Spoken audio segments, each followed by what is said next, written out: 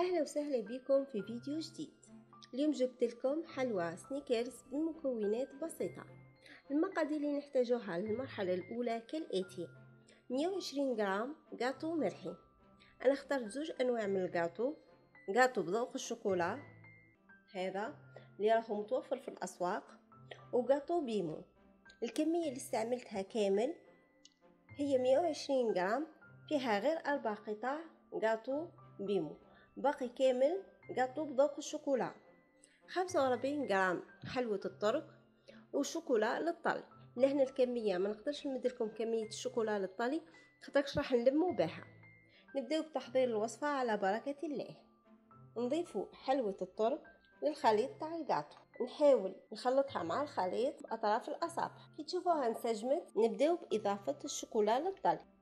نبدأ نحاول ندخلها بأطراف الأصابع. شوفوا الطريقة سهلة وبسيطة ومتعبكمش. كي نشوفها مخصوصة نزيد نبقى نجمع فيها بالشوكولا للطل. لهنا راهي مخصوصة راح نزيد لها ونبقى نجمع فيها حتى نتحصل على عجينه تكون متماسكة. العجينه راهي لميتها. هذا هو الشكل تاعها. لهنا هزيت كمية وندو نشكلوا فيها على شكل بودا. كي تتحليكم هكذا ما تخافوش منها. عاودوا لموا وديروا هذا هو السمك تاعو. درك نبدا نقطع فيه. حجم الحبة كيما نتوما تحبوا. أنا اخترت هذا هو حجم الحبة تكون بهذا الشكل. درك باش يجوكم كامل حبات بنفس الطريقة ديروا لاستيس هذه. هزوا بالحبة وعبروا. شوفوا شكل الحبة. نعاود نسقمها باطراف الأصابع ونحطها في بلاطو. لهنا ال plat راني دايرة فيه papier cuisson. أنا شكلت كامل العجينة.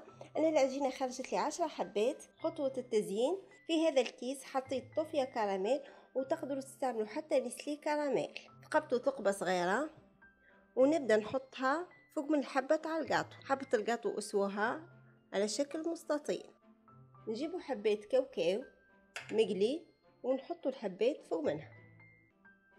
بعد ما تكملوا كامل الحبات ضروري إنه نخلوهم يبردوا حتى يتماسك وتحكم روحها.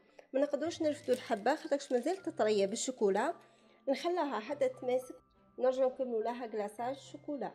للكلاصاج تاع الشوكولا لهنا عندي الشوكولا بالحليب مارون قطعتها قطع صغيرة ونحطها تذوب على حمام مائي. لهنا ذابت الشوكولا شوفوا كيفاه. باش يجي ال glaçage تاعنا يلمع نضيفوا ليه ديما ملعقة تاع زيت. ونحرك. ديما خلوها على حمام مائي باش ما تجمدش. درك ال glaçage راهو واجد.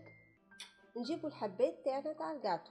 الحبات تاع الكاطو راح نبردو شوفوا كي يبردو مهما نرفد ما يصرى لها والو.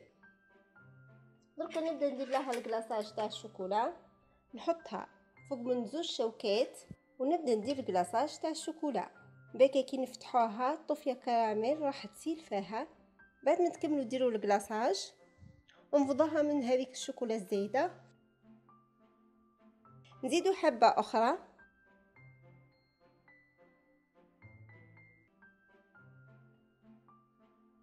ونحطوها مباشرة فوق من هذه الأداة تاع السيليكون. هذه الأداة راهي فيها حاجة مليحه كي نحطو الشوكولا هذيك وتجمد تماما الباكه الحبة راح نرفدوها بطريقة سهلة. خير من نديرو الشباك هذاك ويبدأ الباكه نحصلو في الغسيل وتتعبوا نكملوا الحبات اللي عندنا كامل. بنفس الطريقة. ضروري إنه نخلو القاطو يبرد تماما باك نكملوا اللمسة الأخيرة لهذا القاطو الحلوى راهي بردت تماما. شوفوا الأداة هذه اللي قلت لكم عليها بيلاتي شوفوا الشوكولا كي تعود لاصقة. تتنحى facilement ما تعبكمش حتى الحبة. ترفدوها بكل سهولة. راهي. même هذه الزوائد اللي تقعد لكم في الحبة. تقدروا تنحوا الشوكولا بكل بساطة. بما يخص الحواف هذه الزايدة نجيبوا سكين وتبدو تحاولوا تنحوا الزوائد تاع الشوكولا.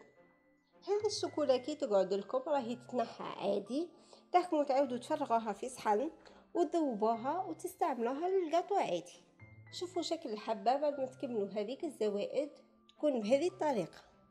لازم الفينيسيون تاعها نحو الزوائد بشكل جيد. اللمسة الأخيرة اللي حبيت نضيفها لها أنا حبيت ندير الورقة الذهبية. نحط الورقة الذهبية من فوق. هذه اللمسة راهي اختيارية تقدروا ما تستعملوهاش. هذا هو الشكل النهائي للجاتو تاع سنيكرز. شوفوا شكل الحبة كيفاه تكون. بمكونات بسيطة خدمنا هذه الحلوى. نقسم لكم الحبة باه تشوفوا. شوفوا كيفاه تجي. وتجي طرية من داخل.